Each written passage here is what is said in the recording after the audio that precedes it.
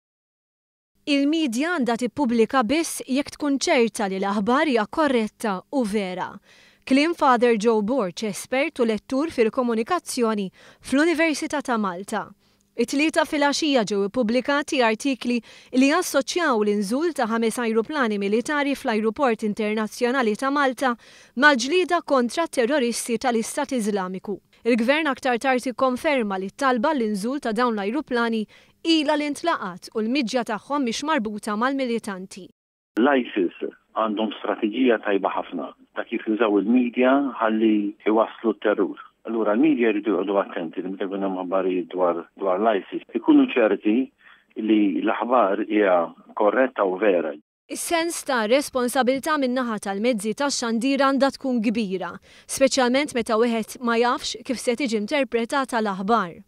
Dejjem meta tajt xi ħaġa fuq ir-radio, television jew f'gazzetta, x'użu ħa jagħmel xi ħadd ieħor minnha qatt m'għandek kontroll. Trid toqgħod ħafna attent pereżempju li l-heading ma jkunx heading allarmista u mbagħad taqra l-istorja kif ġieli jiġri u ma jkun hemm l-ebda allarm għax ħafna nies jaqraw il-heading biss.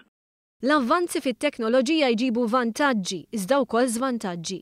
Ħafna nies ikunu fuq is-social media u jagħtu lis-social media kredibilità li m'għandhomx għax fuq is-social media jkollok aħbarijiet ma tafx min qed jgħidhom. Il-parir tal-espert fil-komunikazzjoni hija biex dak li jkun ikun konxju li dak li qed jaqra fuq mezzi soċjali mhux dejjem ikun ġej minn sorsi infurmati.